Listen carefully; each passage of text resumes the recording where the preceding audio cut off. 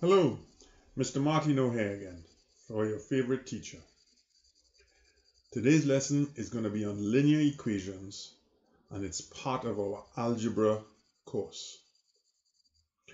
An equation means that whatever is on the left of the equation sign, and it's there in brackets, is the same as what is on the right of the sign. And we must always try to maintain that equation of both sides. So we can always write 6 times 3, putting our equation sign, is equal to 18. Or we could write 6 times 4, which is now 24, is equal to 21 plus 3, which is also 24. So we can put in our equation sign and we know that's correct. We could also have something unknown in our equation. In this case, if I said 6 times y is equal to 42, we would probably need to find a value of y to make that equation make sense. And that's what we're going to do later on in the video.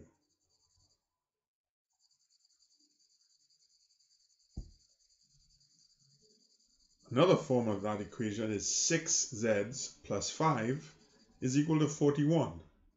In other words, there's a value we need to find for z that would make that expression true.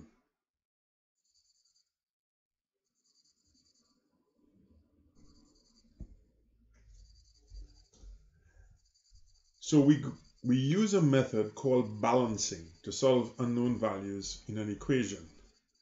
And the principle of balancing is to keep the sides of the equation always balanced.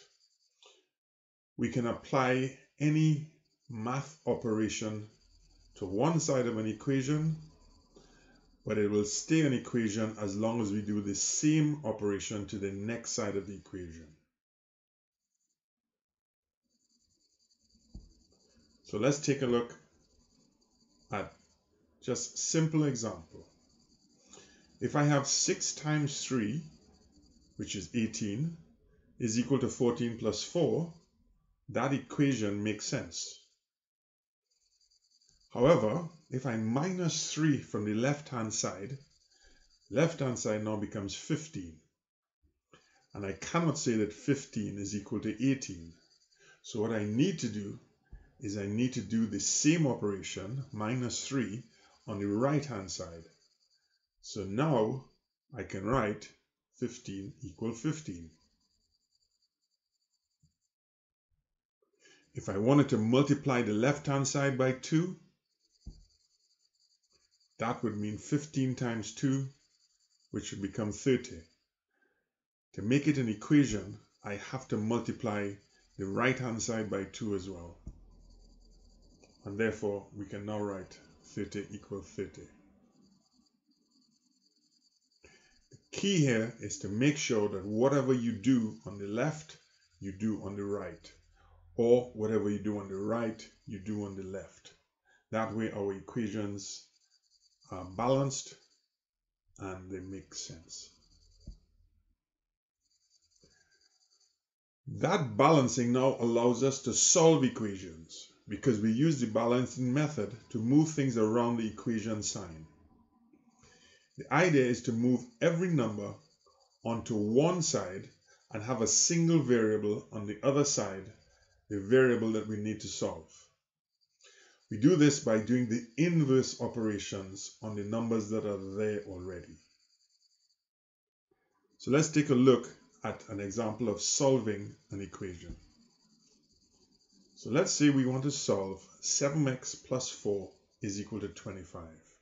It means we need to find a value of x that will make that equation true. So we started off by writing it. I then see that there's a plus 4 on the left hand side and I want to move that away from that side. In other words, I want to get rid of it. So I minus 4 from the left hand side but I have to minus 4 from the right hand side as well. In other words, subtract 4 from both sides. So when I simplify that, the 4 has disappeared and I now have 7x is equal to 21. I'm looking at 7x on the left hand side and the key is to try and get rid of that 7. I'm multiplying 7x's so inverse operation is going to be divide by 7. So if we divide both sides by 7 we get x is equal to 3 and that's our answer. So go through this slide again to make sure you understand exactly what you need to do. And then we can start doing some questions on the next slide.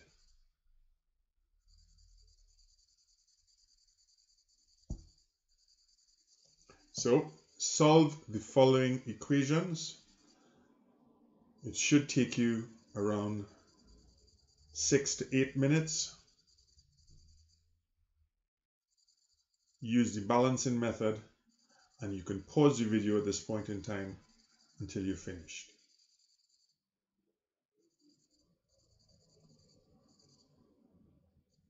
Okay, so now we're going to take a look at what the answers would be in each of those situations. And those are the answers on the right hand side that would satisfy the equations on the left.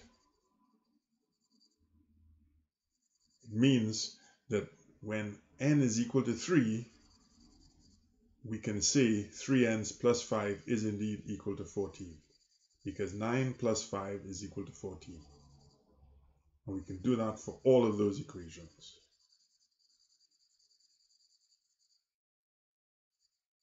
This is a very important topic, so we need to get a lot of practice with it.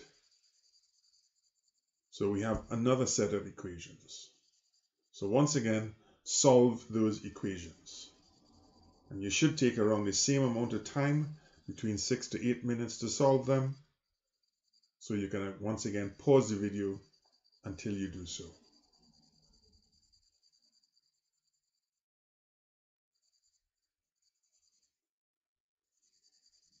Okay, so let's take a look at these answers now.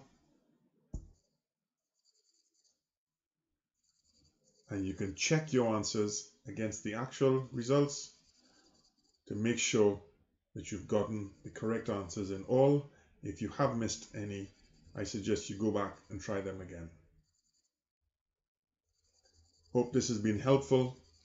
This is Mr. Martino for your favorite teacher.